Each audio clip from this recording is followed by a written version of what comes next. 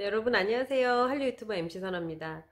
음, 여러분 정말 너무너무 감사드립니다. 제가 감사 영상 또 찍게 됐네요.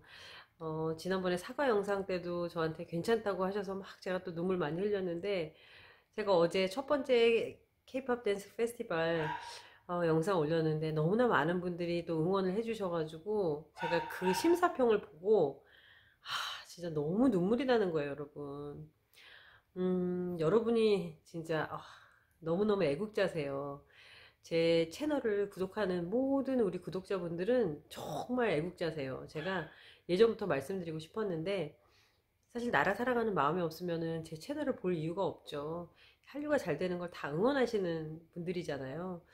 예, 정말 너무 감사드리고 음, 그리고 그 심사평 중에서 일곱 명 다 너무 잘한다고 못 고르겠다고 하신 분들 되게 많았는데 제가 뭘 느꼈냐면은 사실 한국에서 정말 잘하는 아이돌 그룹 다 보셨을 텐데 우리 미국 댄서들의 그 한국 사랑을 보시는 거잖아요.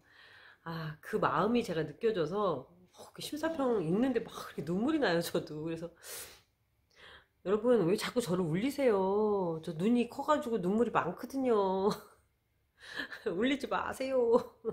뭉클했습니다. 네, 정말 아, 몇 번이고 보시면서 심사 잘 못하겠다고 막 미루신 분들 보면서 아, 우리나라 사람들은 진짜 정도 많고 착하시고 네, 그런 마음이 막 느껴지는 거예요, 제가. 참 너무너무 감사했습니다. 네, 여러분 계속해서 응원 많이 해주시고요. 일주일 남았습니다. 네, 보고 또 보고 많이 보셔도 됩니다. 네, 여러분 감사합니다. 화이팅!